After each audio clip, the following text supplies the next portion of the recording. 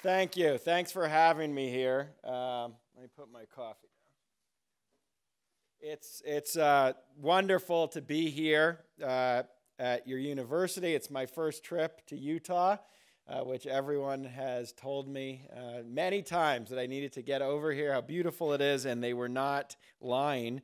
Uh, and it's an honor to spend time at this institution that I've been learning about this morning and all the wonderful programs that you're doing. I must say, I've, I I've been at many universities and I've, I've spoken in different places, and it's rare to actually spend time on the issue of ethics uh, at the undergraduate level, which says more about uh, our society uh, than about anything else. I think it's really urgent at this moment in our history that we think about these problems and we think about what ethics entail and how you reach these kinds of decisions and what kinds of debates we're even talking about when we uh, call for a, a, more rigorous ethical approach to our public problems. So it's really wonderful to hear about the events that you're having.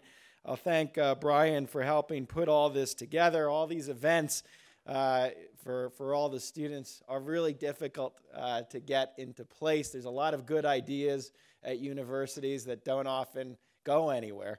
Uh, so I'm always very appreciative when things come together. And, and thanks to everyone, really, who made this happen. This is one of those talks, and all my talks these days are like this, where I'm a little weary to write too much ahead of time. Uh, you know, five, six years ago, when I would give a talk, I'd be happy to write the talk six months in advance, three months in advance. But these days, because of how things are unfolding uh, on a monthly basis, on a weekly basis, or just on my airplane trip here from New York yesterday, in the time of my travel two major news stories seemed to be exploding and unfolding uh, by the time that I landed. I think it says a lot uh, that even in thinking about remarks like these, I really can't finalize them until right now uh, when I'm standing before you. And I think this is actually one of the challenges that we are facing in our politics today. In any case, uh, thanks for having me, and, and I'll talk for a while, and then I hope I can take questions and answers. I love to interact with all of you about what's, what's on your mind. The erosion of truth in uh, American politics, in our democracy, has been one of the most striking developments of what's been going on over the past few decades. Fact checkers have now become a cottage industry. While fact checkers used to be something that you would find within a newspaper or a television station, uh, or within a magazine through much of the 20th century to check what reporters had written. Time magazine, I mean, uh, Harvard uh, historian Jill Lepore has a new book, and she writes Time magazine, when it was created in 1923, was originally going to be called Facts. Uh, before they changed the name of a magazine, which showed a, a kind of commitment to the value of the truth early on. But what we've seen since the 1990s and the early 2000s is this proliferation of organizations, websites, and journalists whose entire operation revolves around trying to figure out what's true and what's not true, checking the words of politician, listing how many times someone has lied, giving Pinocchios uh, based on what someone has said, and really trying to help us sort out all of the noise that we see. And to me, the prevalence of these organizations, it, obviously it's good, and it's good to have all of them out there, but it also seems to me a sign that something's wrong. When we need as a society so many sources to tell us what's true and what's not true, we might have a problem on our hands. It signals that the truth has really lost some of its standing in the public square. And of course, the problem is even worse since so many of those fact checking organizations now are partisan themselves and can't even be trusted all the time. While there's been a burst of fact checking organizations and individuals, it's not clear that it's working. With more and more people looking to make sure that we get the stories right or that politicians are honest about what they're telling us, we live in a political world where it is increasingly difficult to tell the difference between fact and fiction. There was a cartoon in the magazine The New Yorker depicting a Jeopardy like game show called Facts Don't Matter. Looking at the panel of three contestants, the host says, I'm sorry, Jeannie, your answer was correct, but Kevin shouted his incorrect answer over yours, so he gets the points. In our partisan world, facts have become weaponized, like almost everything else. As one political scientist wrote in the New York Times following the passage of Brexit, the sense is widespread. We have entered in an age of post truth politics. As politics becomes more dominated by television performances, the status of facts in public debates rises too. We place expectations, expectations on statistics and expert testimony that strains them to the breaking point. Rather than sit coolly outside the fray of political argument, however, facts are now one of the main rhetorical weapons within it. How can we still be speaking of facts when they no longer provide us with the reality that we can all agree on?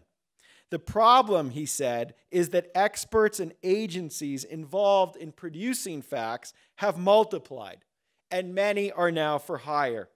If you really want to find an expert on something willing to endorse a fact, and you have sufficient money or political clout to do it, you probably can. And then we get to the presidency.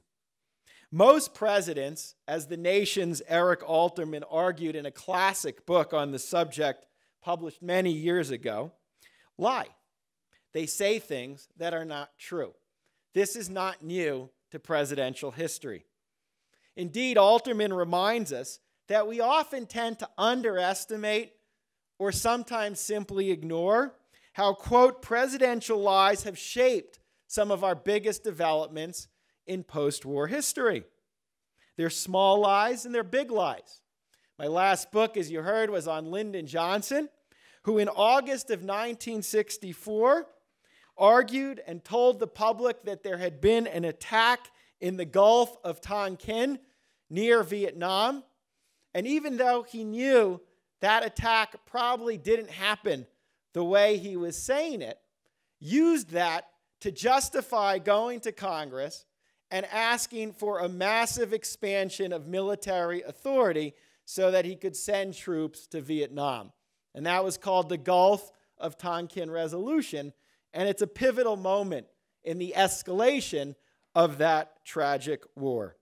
The fact that the Vietnam War was begun with a lie, Alterman wrote, would end up tainting the entire conflict in the eyes of U.S. citizens once that falsehood was covered, uncovered.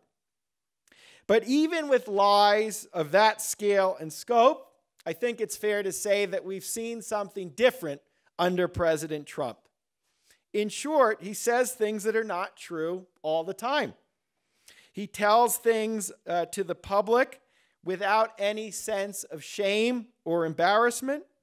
Early in his presidency, he regularly would boast that he won the popular vote against Hillary Clinton, which he did not. Or he would say that there is evidence of massive voting fraud, which almost every serious study has confirmed did not happen. He's taken conspiracy theories and tweeted them out as fact, while he has thrown political mud on the wall almost every day based on very little. He's pushed the boundaries of our political environment by ignoring the truth without any sense of restraint. On August 1st, the Washington Post, the newspaper he doesn't like, reported that the president had made 4,229 false or misleading claims in the span of 558 days. And whether you support him or don't like him, that's a pretty impressive feat. Whoever is careless with the truth in small matters cannot be trusted with important matters, Albert Einstein once said. The issue, though, is not simply how President Trump lies or doesn't lie, but why it has not been more devastating politically. Like so much else of the Trump presidency, he is as much a product of our times as a cause of it. And this is a way of thinking about what's been going on since January 2017 that I think is really quite essential. This is a big question about Trumpism, if we call it that, including the erosion of truth in the public square. Why are some things that we're seeing permissible? Why are some of the most outlandish parts of the presidency normalized at some level in our political culture?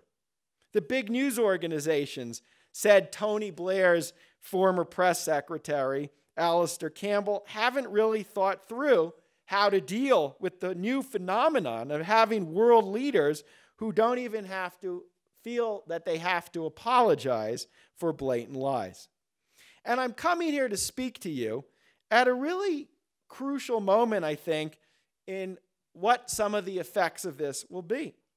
Many years ago, back in 1991, uh, all of us here who lived through that, not the students, but many of the rest of us, watched how the Senate handled allegations that emerged when Supreme Court uh, nominee uh, Clarence Thomas had been appointed by President George H.W. Bush. And at the very end of the hearings, right before a vote was about to happen, a reporter for NPR broke a story that Anita Hill, who had worked with Clarence Thomas at the EEOC earlier in their career, had sexually harassed her. At the time, there were many critics of how the Senate Judiciary Committee handled this, including the Democrats and the Republicans, including Senator Joe Biden, that they didn't take the accusation seriously enough.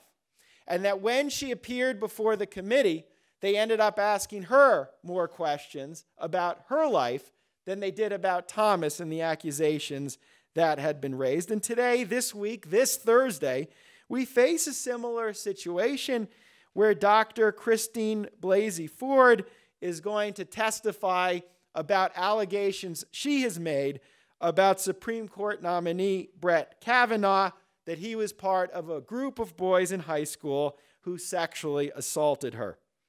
The president, after a few days of restraint, unleashed a series of tweets and statements saying this was not true. Senate Majority Leader Mitch McConnell has been very clear and direct that the Republicans intend to roll over this or move through this to get the confirmation in place. And some parts of the media have been filled with conspiracy, false claims, and insinuations of her. In this case, the question will be is there even an effort to figure out the veracity of these claims? There are many who are suspicious this will really happen. Unlike with Anita Hill, this time there won't even be any kind of FBI investigation. There will be no independent evaluation of what has been said.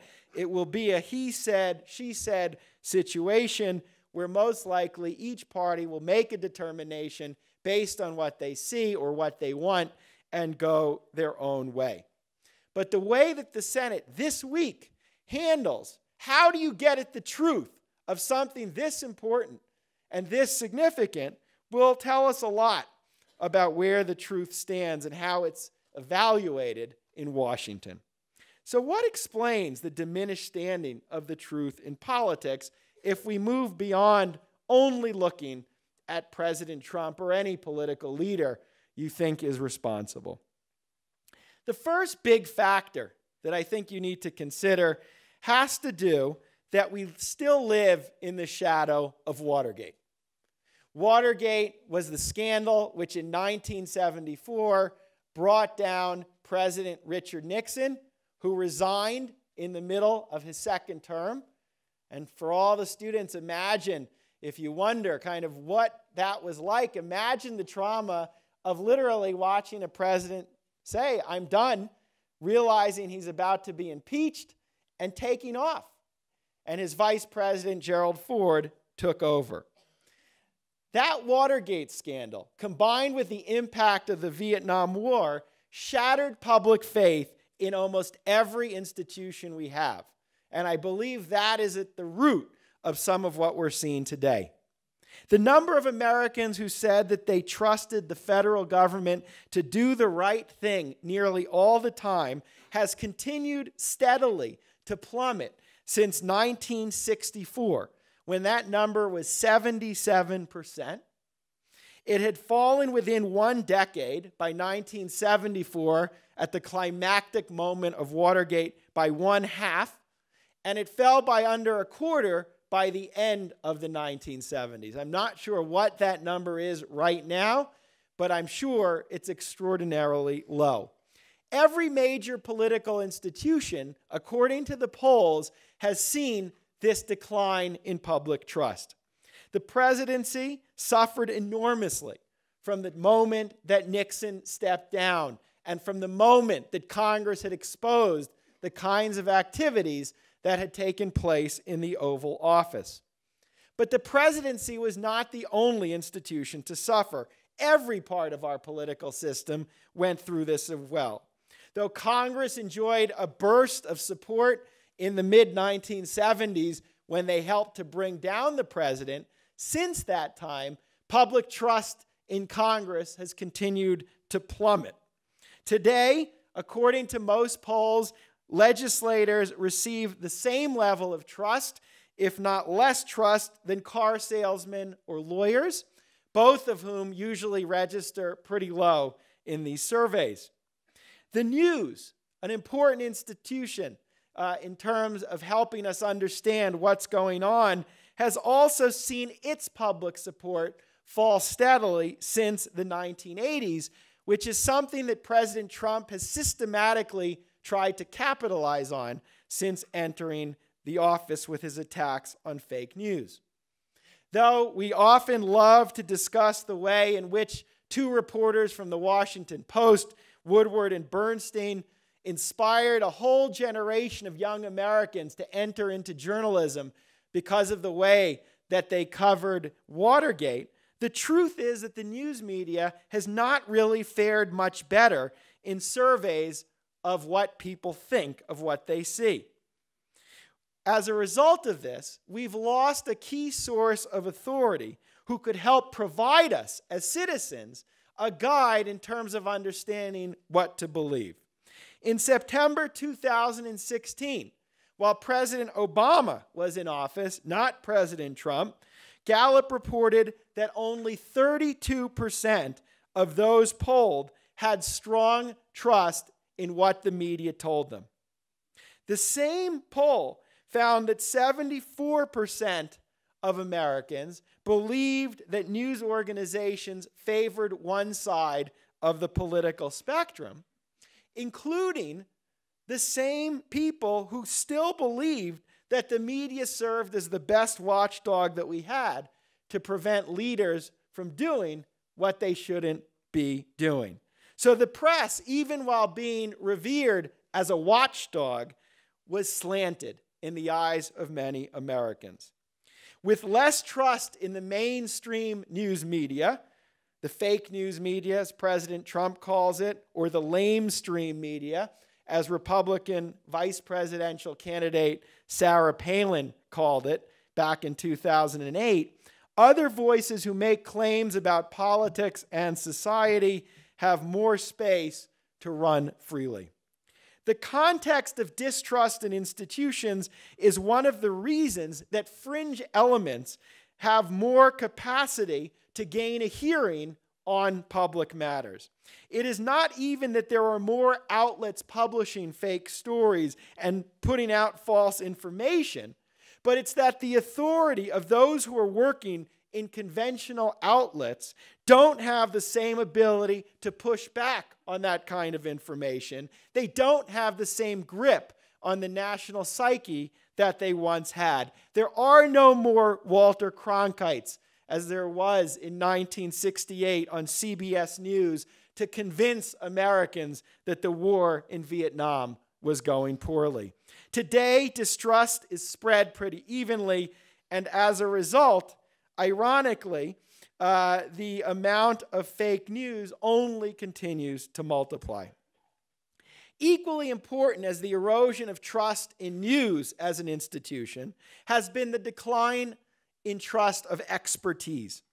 There was a period in American history, for those of you who are taking some history courses, beginning in the progressive era, the turn of the 20th century, going through the Cold War in the 1950s, when expertise was a valued commodity in American life. The government poured massive amounts of money into universities and into scientific research. The expert was a respected voice throughout the country.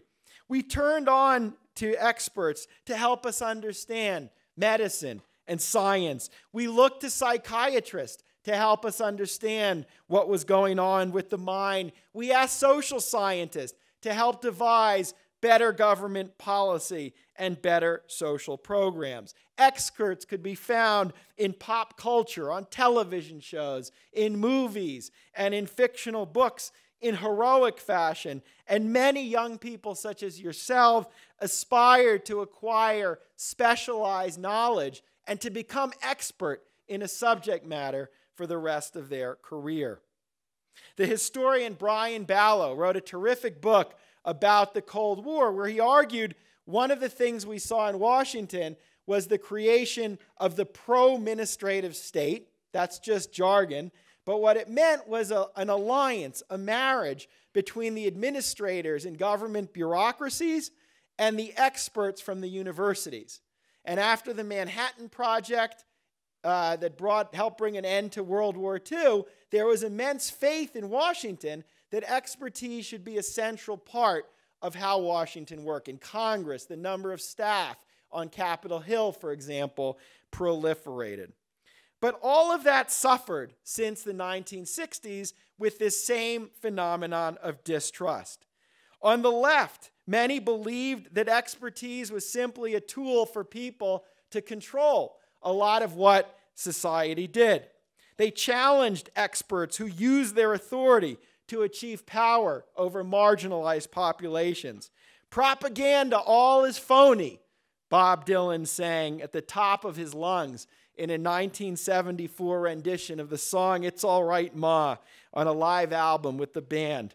In the humanities, theories of relativity started to gain hold, where philosophers, historians, literary critics, and others rejected the notion that there could ever be something that could be called the truth. Every fact was seen through the prism of a person's belief and bias. Nothing was objective.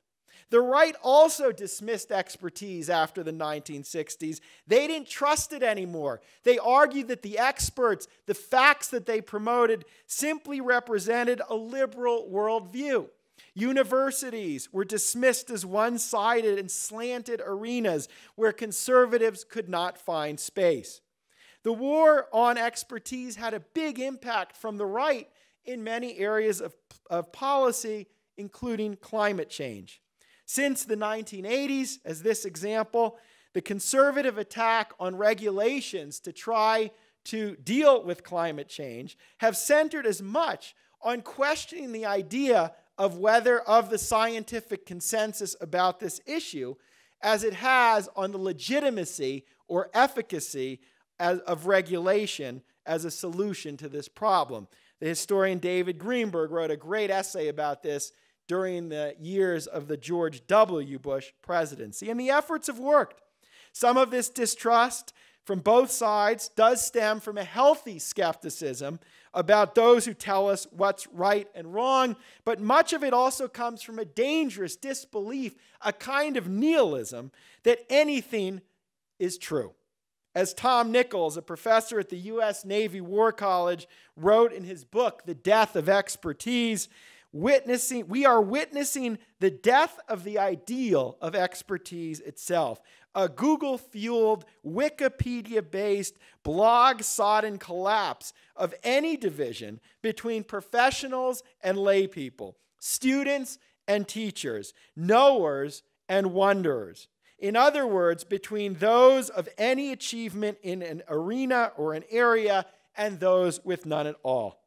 To demonstrate the effects, he cited a 2014 poll in the Washington Post following Russia's invasion of Ukraine, where the poll found that uh, an overwhelming majority supported a forceful response to what Russia had done, but only one out of six of those polled had any idea where Ukraine actually was on the map. President Obama often said that one of the challenges his administration faced in climate change was that an individual who didn't believe in climate change and posted something on Facebook was indistinguishable from a Nobel Prize winning scientist who posted something on his Facebook page that the two look the same in our modern world. So we trust institutions less and less. There are fewer people, fewer institutions, fewer ideas that the public believes as being trustworthy enough to count on. Another factor, a second factor behind the erosion of truth, has to do with the impact of political polarization in our democracy. Something I'm sure all of you have read about, heard about, or at least thought about.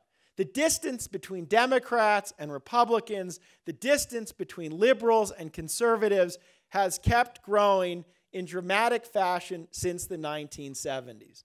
The center no longer holds in American politics. There are many reasons why polarization has happened since the 1970s that people, including myself, have written about. Uh, within Congress, for example, during the 1970s, reformers changed the way that Congress worked because they wanted to end the backroom bipartisan deal making that had often happened in much of the 20th century. And they wanted to create a more partisan kind of government where parties each stood for something, where parties wouldn't sell out by reaching agreements with the other side. And they changed the way the rules worked and the processes of government worked to make it more partisan. And they were successful. Part of what we saw is each party became more homogeneous in its composition. In Congress, on Capitol Hill, in the House, in the Senate, uh, Southern Democrats, who had kind of moved the party to the center until the 1970s, moved over to the Republican Party, and liberal Northeastern Republicans, such as Jacob Javits of New York, basically disappeared from the GOP. The Republicans, which had uh, been a party like the Democrats that mixed different ideas, that mixed different regions. All of this came to an end, and each party looked very red, or each the other party looked very blue. The congressional system that had revolved around strong committee chairs until the 1970s, who gained their positions through authority and could do almost whatever they wanted, all ended because of reforms in the 1970s, such as weakening the power of committee chairs, opening up more of the political process to the public that undercut the power of bipartisanship. As party leaders gain more control over the members of their party, either with new tools like campaign finance, political action committee, or new rules, it was harder for any Democrat or Republican to vote against the leaders of their party because they would be punished in one way or another.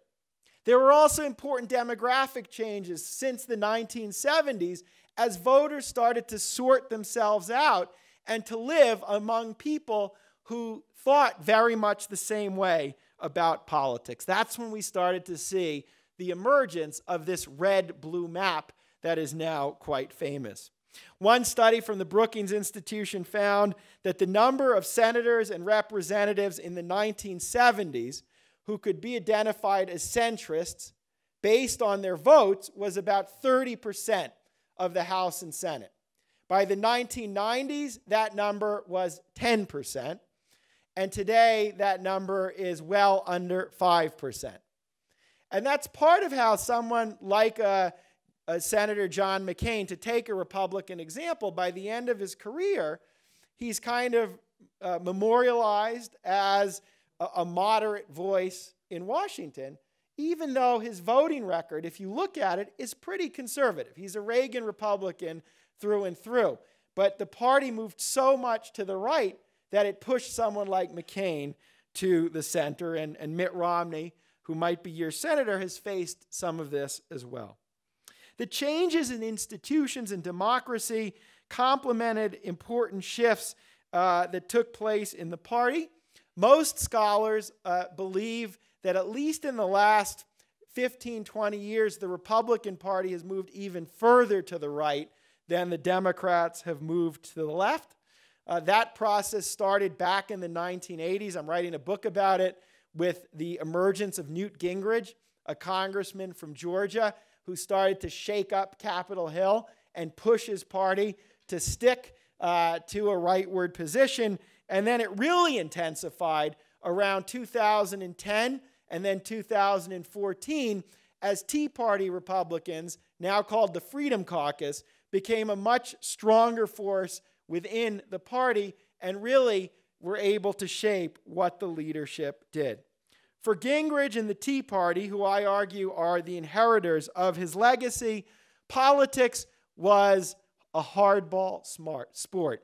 They were willing to engage in much more confrontational styles of governing, much tougher forms of partisan warfare, and they were much less willing to allow members of their caucus to even consider the possibility of bipartisan compromise. During Obama's presidency, Democrats learned a lot of how much impact this could happen, such as in 2011 when House Republicans threatened to send the government and the nation into default simply over a dispute over federal spending.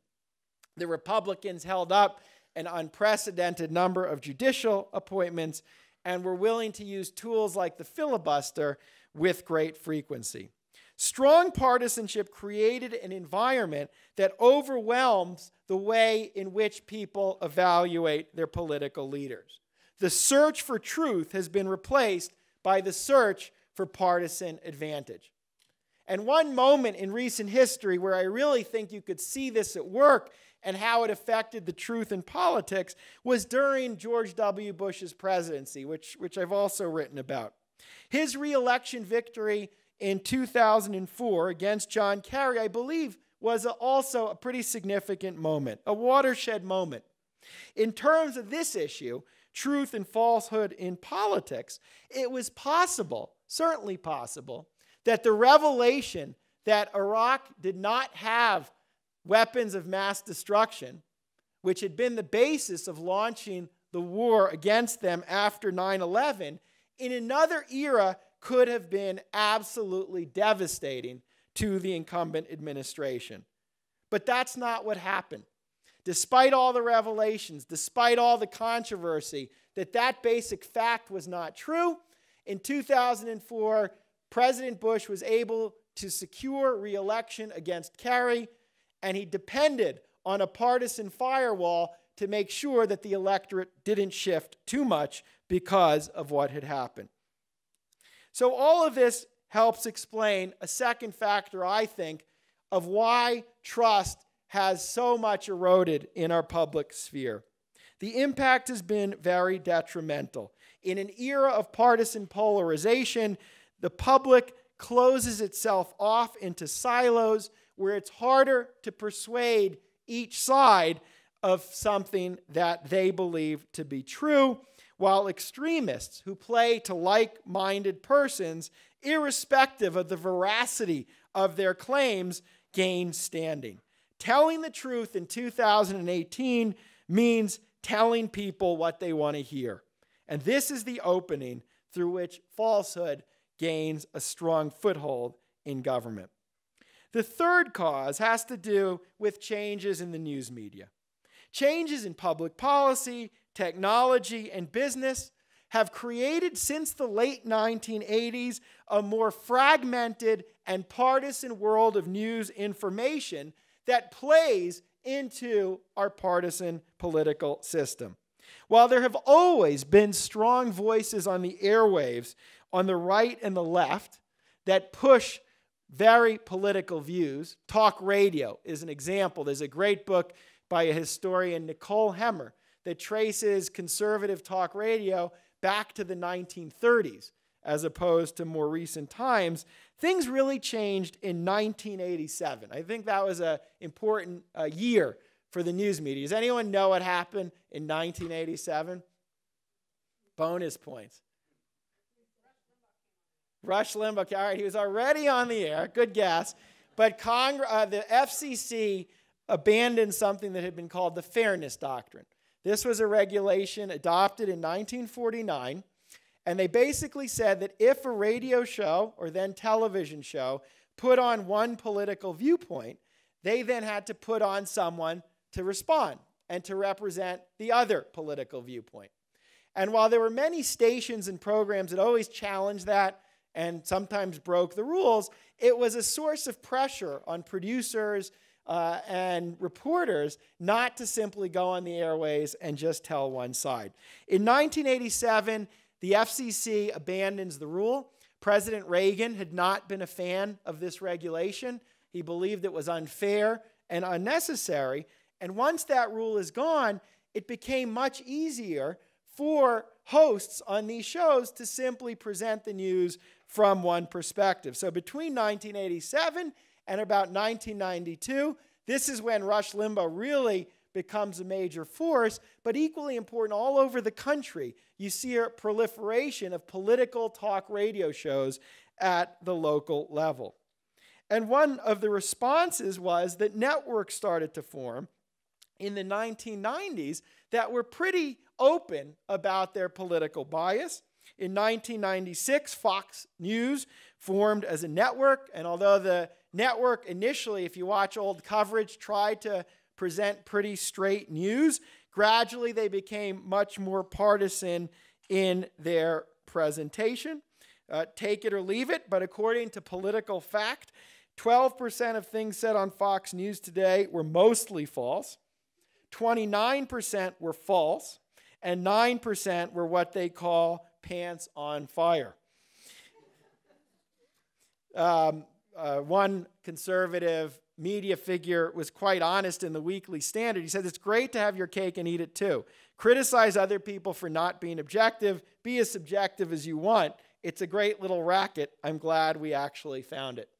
And of course, liberals created networks of their own during the 1990s and early 2000s. MSNBC uh, has been the most successful version of this. Uh, talk radio liberals have gone through various incarnations that have not been as successful, although now there's Sirius Progress, uh, which is a version of this. And this was simply, it was not simply a political decision, it was also a commercial decision. In addition to the FCC getting rid of the fairness doctrine, the news started to respond much more to commercial incentives. Uh, and they were attracted but to programming that would draw large audiences. And in our current era, since the 1990s, many audiences want news that reflects their pre existing political uh, perspectives. And all of these policy and commercial changes were fueled by important technological changes. Another landmark I teach about in my class uh, at Princeton is 1980, June 1980 when CNN first goes on the air, June 1st. And it's important because at that moment, the traditional news cycle completely falls apart. Rather than just having a TV cycle where you have a nightly news show uh, in the late evening for about a half hour, which actually means 22 minutes without commercials, now you have a news cycle that is constant, ongoing, and which always needs to be filled.